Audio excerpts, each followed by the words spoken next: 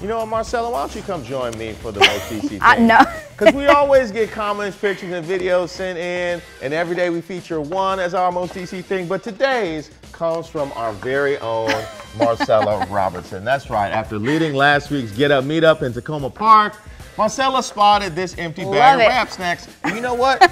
it's not just any flavor. This is her favorite flavor, barbecuing with my honey with the picture of little Now you Romeo know that's a lie because I've never had rap snacks in my life. You really gonna lie to the people like that? I'll tell them you put that out your car. Mm-mm. Okay, Not my all right, fine. We need to get some uh, fingerprints tests done on that bag of rap snacks. Now, rap snacks have really become the official chip of the city. Would you say they are?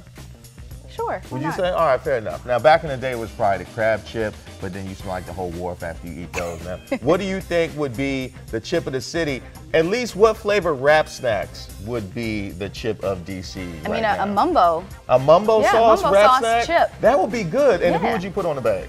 Um, maybe Wale. We no, have- Dave Chappelle has to be on there. Okay, Yeah. okay. A comedy bag of rap snacks. I like it. go. Mixing it up. All right. Congratulations to Wale and Dave Chappelle. Dual bags of rap snacks. We got you. Also, we have another Get Up meetup today at Duck Donuts in Alexandria. You can come hang out with Marcella starting at 8 a.m. And as always, if you see a Most DC thing, send it my way. I'm at Reese Waters on Twitter, Facebook, and Instagram. Or email rwaters at WUSA9.com. And of course, you can always use that hashtag GetUpDC.